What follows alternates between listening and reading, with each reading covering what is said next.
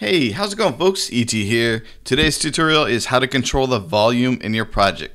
Whether you want to go up, whether you want to go down, whether you want one part to go up, one part to go down. We're going to show you how to do that and there's a few ways to do it. So let's get started with the easiest way first. We have a video on our timeline here and you'll notice there's a line right in the middle if you see the waveform here.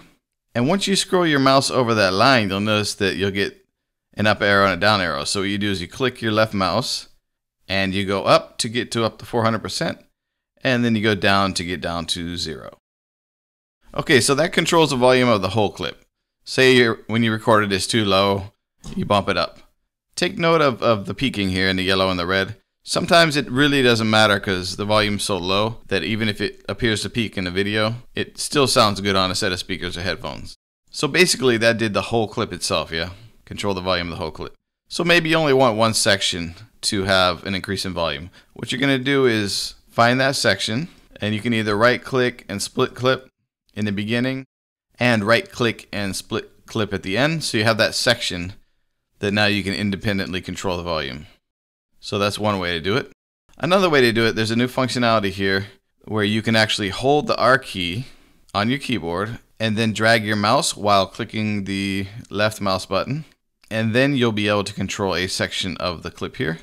Once you do that, when you do increase and decrease the volume, it automatically drops some points for you on the line here.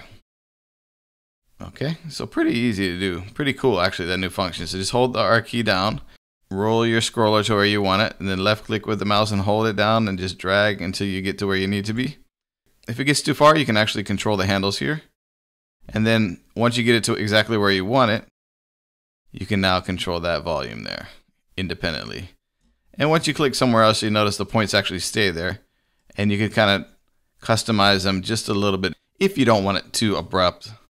And you can add new points as well by using the option key, holding that down the keyboard, and then clicking on the line, it'll put another point there, which will give you a little bit more independent control of it. Put as many as you want, actually. So the third way, as I mentioned briefly there, is to use the option key on your keyboard and then put little points here. That will allow you to customize the volume points basically of the video. So for example, you want it to go down here, you want it to go up here, you want to go a little bit down there, then you want a long one here, you want to add another point here to make it more gradual, add another point here add another point here. You can basically customize the sound of the video in any way you want.